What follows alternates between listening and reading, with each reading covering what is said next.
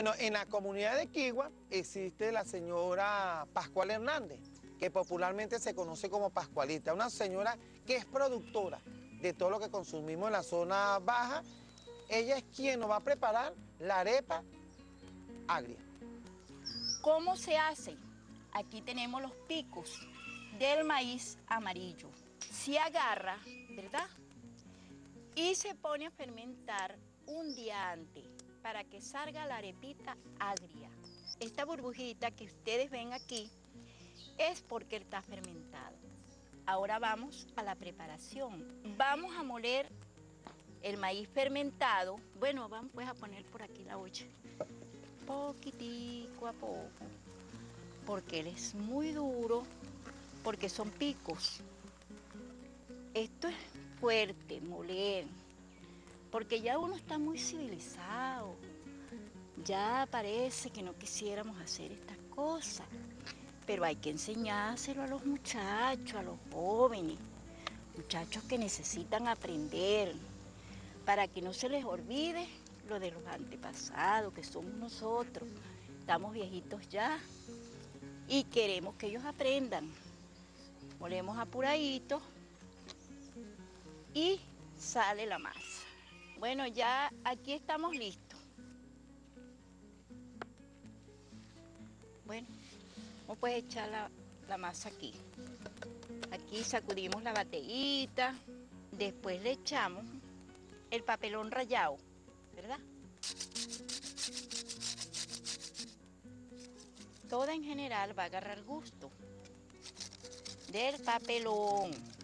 Agarramos el cambur, pongan cuidado, vean ustedes. Vamos a rayarlo rapidito. Aquí vamos. Están viendo, ¿verdad? Ustedes están aprendiendo porque ustedes quieren aprender, qué bello.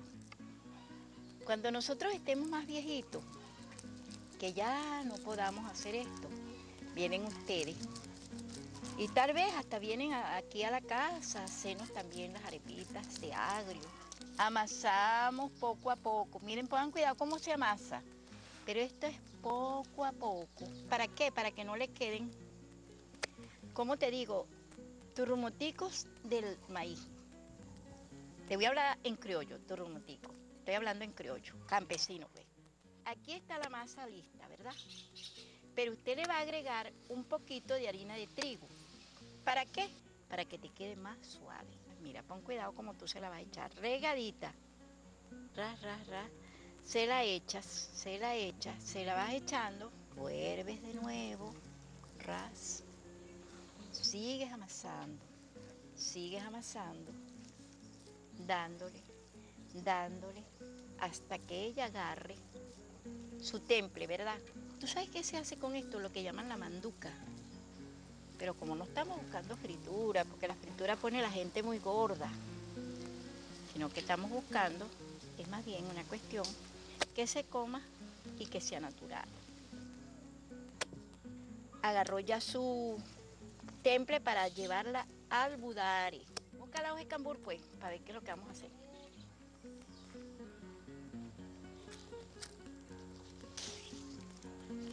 Bueno, gente, picamos las hojas,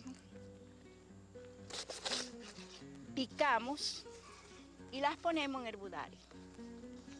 Nos llevamos la masa, ¿verdad?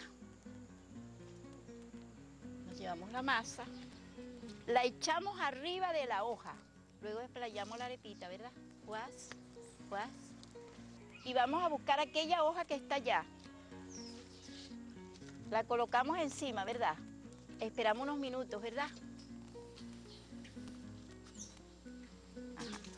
La dejamos hasta que ella más o menos agarre la consistencia.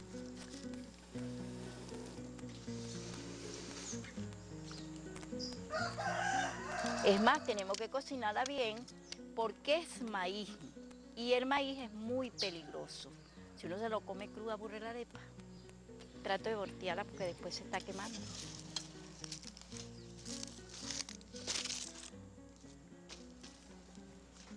Ahí estamos.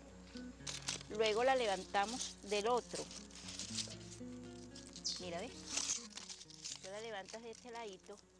¿Viste cómo la levantaste? Luego que la quitas de las hojas, la pones en el budare de nuevo, porque hay que terminarla de cocinar. Esta es la arepita agria que se hacía antes aquí en Guama, o digamos aquí en Quigua, que dicen que hasta Quigua manda Guama, ¿verdad? Eso es. Eso queda rico y ustedes la van a comer y después ustedes, cuando ya estén como nosotros, le van a decir también a sus hijos, hijos, es así que se hace esto, para que sus hijos aprendan y nunca se pierdan estas tradiciones.